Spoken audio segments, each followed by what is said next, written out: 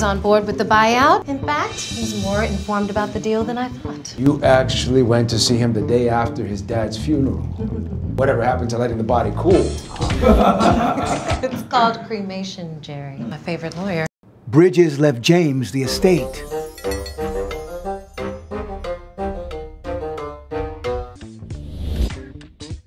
Meet Kim Glazier, straw wheeler attorney who must close a major merger with a sailing slacker.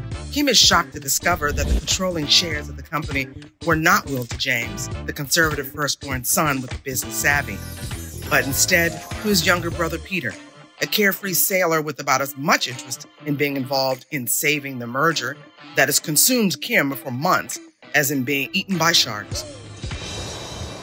By the time we get to Puerto Vallarta, there's more than an even chance I won't even own a share in Bridges Technology.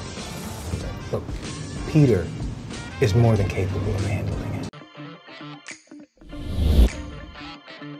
Kim now faces the challenge of her career get Peter to sign before the buyer backs out, or lose her second major deal in a row and perhaps her job. Buyer hasn't heard from you in two days. Make it happen!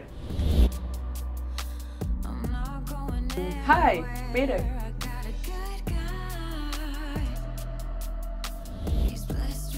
A fish out of water story about a big city girl spending several days on a sailboat with someone she has very little in common with, or so she thinks.